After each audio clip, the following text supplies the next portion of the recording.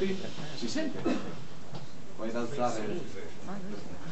Buonasera a tutti e benvenuti a Prometeo, Circolo Arci Giovane, abbiamo aperto a giugno, forse per molti è la prima volta che, che venite qui dentro.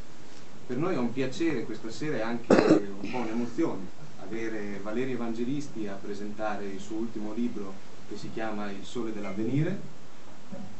e spero che tutti abbiate trovato posto, spero che troviate l'ambiente caldo e accogliente come è la terra di Romagna raccontata nel, nel libro di, di, Evangelisti.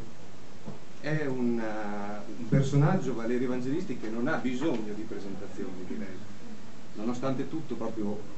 piccole, piccoli cenni, è nato nel 1952 eh, ed è conosciuto forse soprattutto per il ciclo eh, di romanzi fantasy ambientati nel, nel Medioevo e, e anche nel, nel futuro di, della saga di Nicola Seibel e Inquisitore. Questo gli ha anche valso il premio Urania nel 1993 ed è anche conosciuto come attivista online con Carmilla, che è una webzine di cultura letteraria ma anche di critica politica che è molto attiva da diversi anni, è ancora, ancora molto frequentata e molto attiva.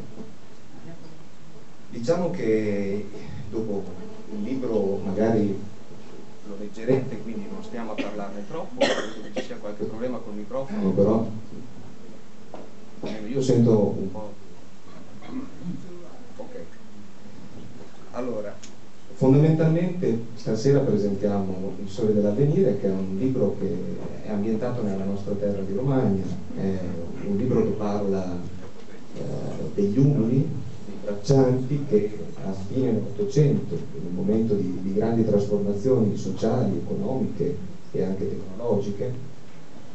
vengono a trovarsi spinti dalla campagna fondamentalmente che non, non, dà più da mangiare, la terra che non è più sufficiente per far crescere, per dare da mangiare, verso la città, in cerca di lavoro, come, come braccianti, quindi come, come braccia senza, senza, nessun tipo di specialità.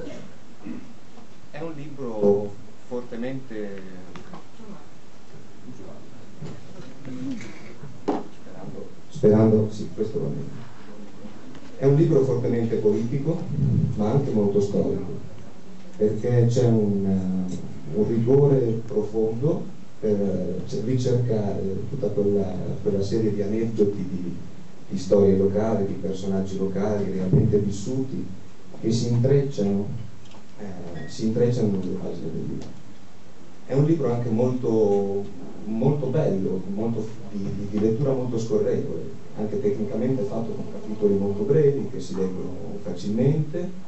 con uh, un intreccio anche delle storie dei personaggi che, che coinvolge fin dalle prime pagine. Il libro fondamentalmente, dicevamo, racconta del, de, della nostra terra in un periodo uh, che è quello di, di inizio Novecento fondamentalmente, in cui queste grandi trasformazioni sociali ed economiche portano a un fiorire di movimenti politici, eh, associazionismo, eh, una miriade anche di neonati eh, partiti che, possono, che fioriranno poi negli anni successivi. Il protagonista è un, un bracciante eh, garibaldino,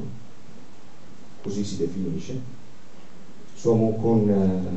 eh, è la storia di questo bracciante, di sua moglie Rosa, una, donna figlia invece di una famiglia di mezzadri,